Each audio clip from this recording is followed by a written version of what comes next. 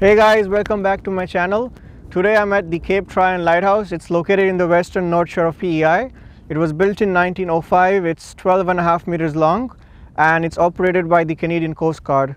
This place has one of the best scenic views in PEI and also it has the highest cliff in PEI and you're gonna love the view.